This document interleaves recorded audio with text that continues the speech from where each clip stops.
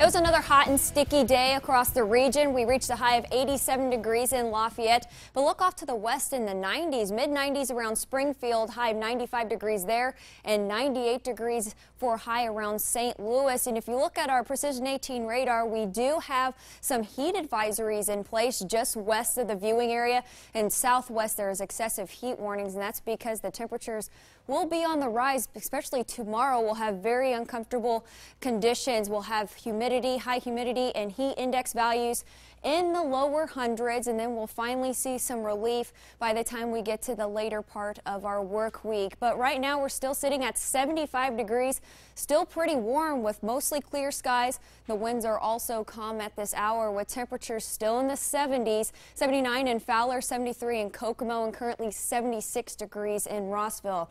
Here's a look at our satellite and radar. Much of the region is staying dry thanks to an area of high pressure, but we will see that chance for at least partly cloudy skies overnight and some patchy fog to develop by the time we wake up tomorrow morning. But temperatures overnight should stay pretty warm. We're expected to stay in the lower 70s, 73 at 2 o'clock in the morning, dropping to 72 by 3, and then eventually 70 degrees by 5 o'clock with overnight lows in the upper 60s for much of the viewing area. The northern half of the viewing area should stay in the 60s and then around the 70s for the southern half, 70 in Attica and an overnight low of 70 degrees in Pine Village. And again, that chance for patchy fog when we wake up tomorrow morning with a temperature around 72 degrees. So it'll be a warm start tomorrow. And by the time we get to around lunch, high of 90 degrees, especially by 4 o'clock in the afternoon. We'll continue to see mostly sunny skies, but it'll be very hot and humid by the time we get to the afternoon hours with highs in the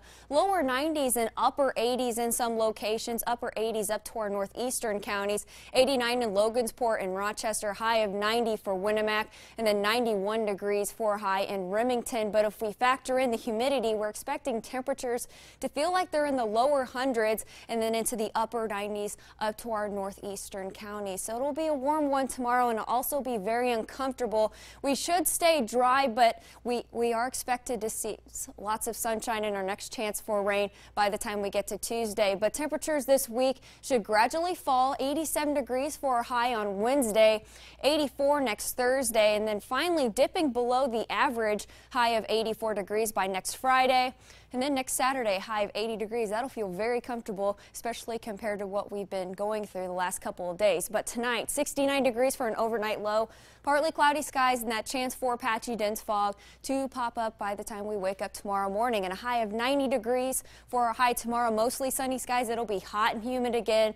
So just be prepared for that. And then another chance for showers and thunderstorms by the time we get to Tuesday. High of 89 degrees for Tuesday, 87 next Wednesday.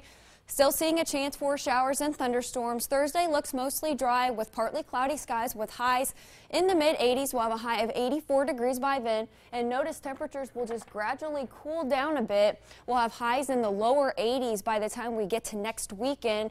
But we still have a chance for a scattered shower and thunderstorms by the time we get to next Saturday and then dry out by next Sunday.